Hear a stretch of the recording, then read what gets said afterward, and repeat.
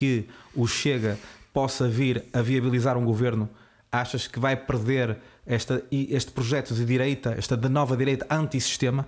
Não é? Que é, não sei, é, um, do, é um dos fundamentos do antissistema. O, é? o projeto continua a existir. Agora, existe uma dinâmica. A dinâmica antissistema, que é do género, Tu acreditas que essa dinâmica ainda é ainda existe. um, uma- um, um ponto forte do Chega? Ah, sem dúvida. Porque repara, as pessoas que saem da abstenção para votar diretamente no, no Chega, é, esse tipo de voto é a comprovação eh, direta e real de que há um sentimento de que isto é diferente. Não interessa se acham que é bom ou é mau, o que acham que é, é diferente. Atenção.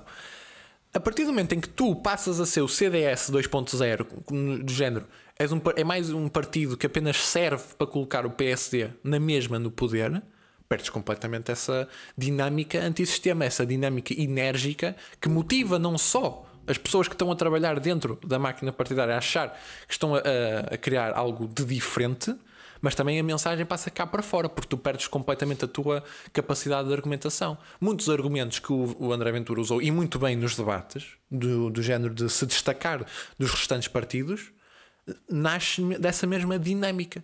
Portanto, Acho que essa dinâmica ainda existe no Chega e é preciso preservá-la.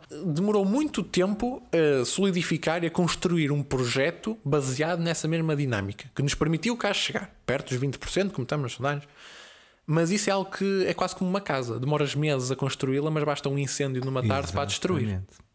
Exatamente. Basta uma má votação num orçamento de Estado ou num programa de governo para destruir completamente isso, que foi o que aconteceu ao Bloco. Anos e anos e anos, chegam quase aos 15, 16% também nas sondagens, basta uma geringonça para estarem com 5 deputados.